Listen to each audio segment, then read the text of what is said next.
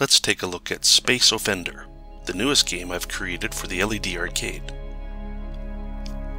This was inspired by Defender.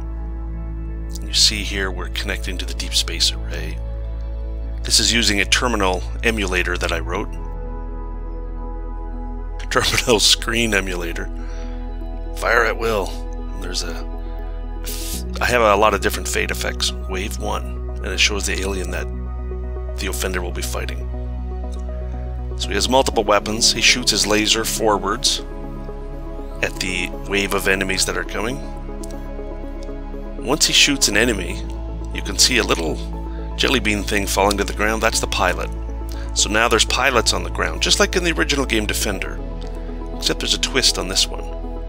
It's Offender. His job is to destroy the aliens and then kill their pilots on the ground, breaking all the laws of the conventions that don't exist yet because it's space. He has bombs that'll take out the ground. You see, I in there we go. Boom! I created some particle effects there. Pieces of the ground go flying when the bomb explodes. The further the bomb flies, like this, the larger the explosion. It kills the I call them humans. It kills the humans on the ground. Little jelly bean people. They run away from the defender. Ooh, look at that. Wave two. Oh, I see the uh, the ship there is buried behind the mountains. We couldn't see it.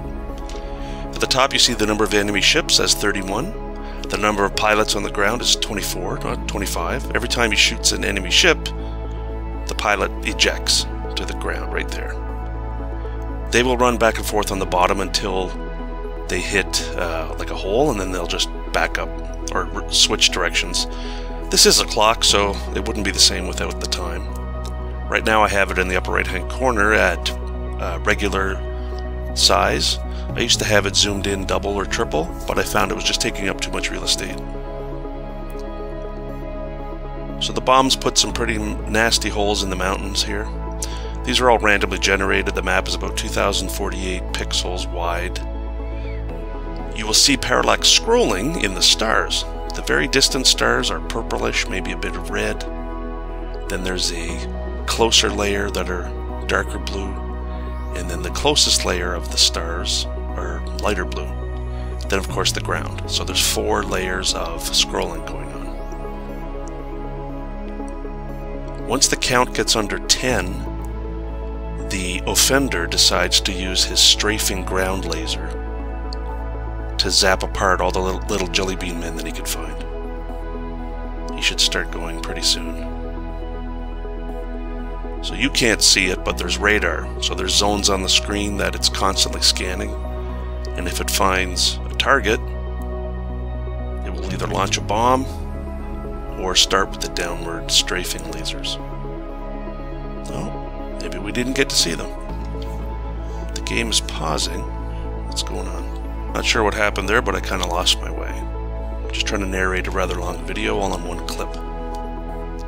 Or one take, I guess. So he's dropping bombs, taking sides out of the mountains, flinging debris everywhere. There we go, there's the ground laser. He sees the jelly bean men, and he's just, he's there to wipe them all out. Remember, this game is offensive. It's time the humans did some alien ass kicking, don't you think? Okay, wave three. Uh, there's a red alien gonna come. So there's a wave. I think it adds 20. When they blow up, they just turn into little pieces. So that's the particles of the ship flying. The red dots. So I think there's 27 different types of UFOs. This game will run a long time. Oh, look at that, it's over. What do we got now? Dot invaders. So this is a take on Space Invaders. Defend your planet. I love this part. Oh. Yeah, I restarted the... Uh, I reinitialized I initialized the file, so it lost its high scores. 903. That was a couple hours ago. So it's Space Invaders. The time is the Armada. We have his points that he's getting at the top 12, 14, the high score is in the orange on the bottom right hand corner, so they're the same right now. It's on level 1.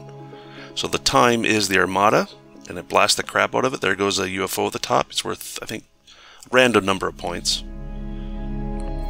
In this version, every time a missile hits the ground, he loses a point.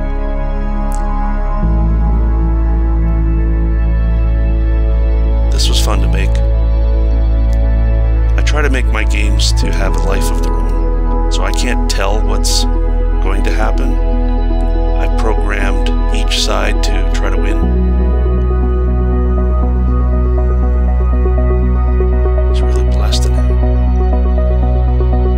Guy's very good at avoiding those white missiles. I mean, really good. He hardly ever gets hit.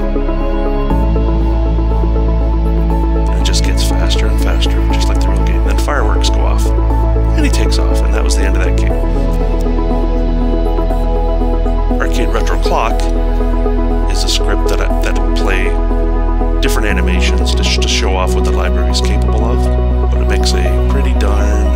darn interesting clock to watch.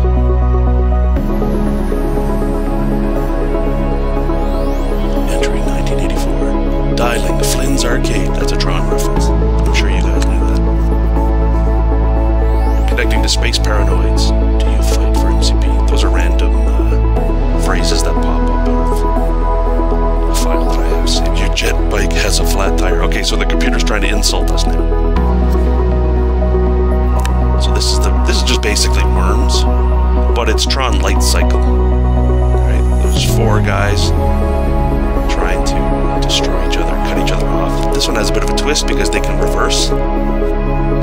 If they get stuck in a loser, if they get stuck in a uh, position where they can't go forward, they can try to back up. So this map again is inspired by Tron. Actually, this one's from Tron. Well, it's in the movie too, he's a loser too. So this screen has the time, the date. Three is the level, that's the red number,